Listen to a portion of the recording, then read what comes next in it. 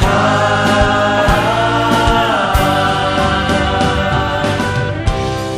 Semangat berinovasi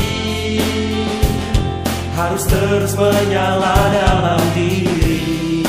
Jadi generasi kreatif berintegritas berkolaborasi